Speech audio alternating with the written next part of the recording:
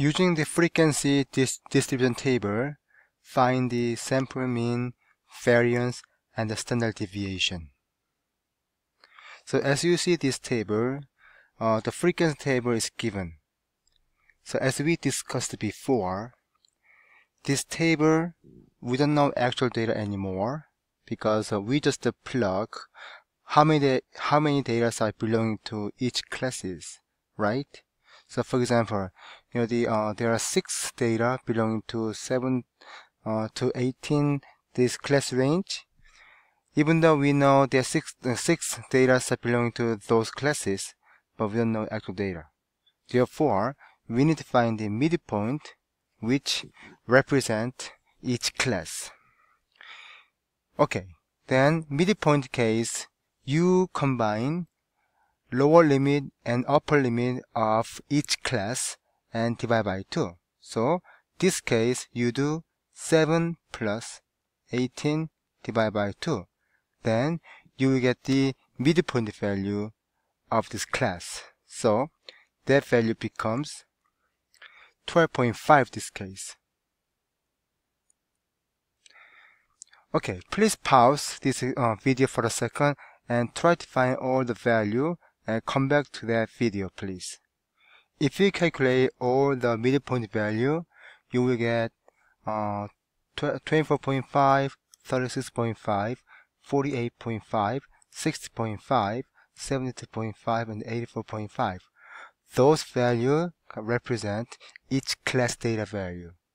Therefore, uh, the mean and the variance and the standard deviation wouldn't be accurate because they are not actual data value.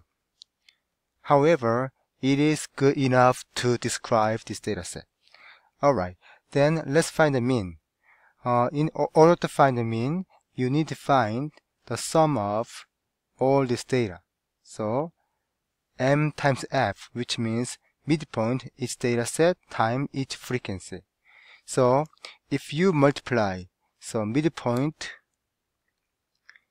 and frequency. So the first class case 12.5 times 6 then you will get 75 here.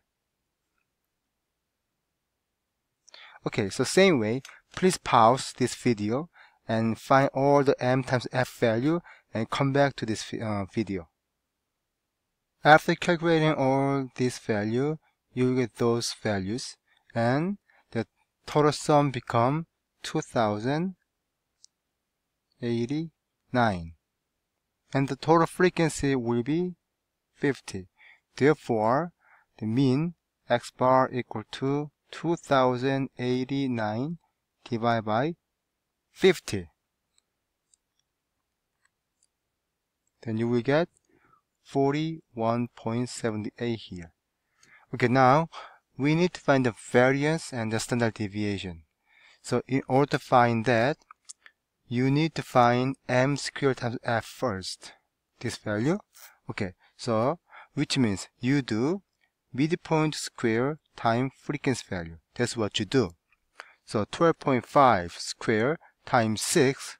So that case, um, 937.5 like this. Okay, the same way, please pause this video and find all other value and come back to this video. If you calculate that, you will get those big amount values and total sum become 107196.5 here. Okay, so we are almost ready to find the variance and the standard deviation. If you go back to your booklet, you will get this formula.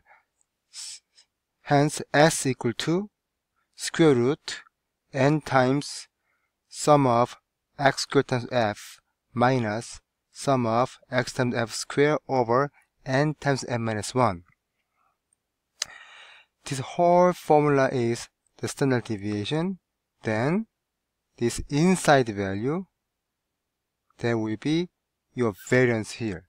So we want to calculate the inside value to find the variance and then we will take square root of that value then we can find the standard deviation. So s square. So s squared equal to n times sigma x squared times f minus sigma x times f square over n times n minus 1. So it becomes 50 times. You know, this means basically this value.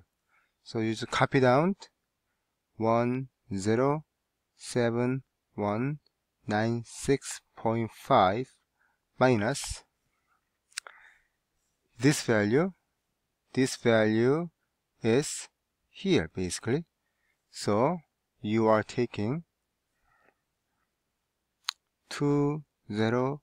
2089 square over now 50 times 49 here. Okay, if you calculate that, you will get 406.4914.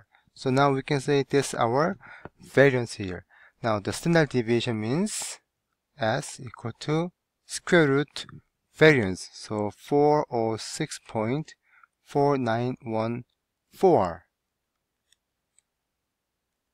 Then you will get 20.1616.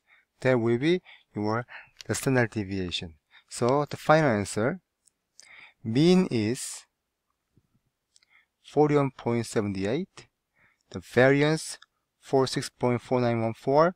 The standard deviation 20.1616. Okay?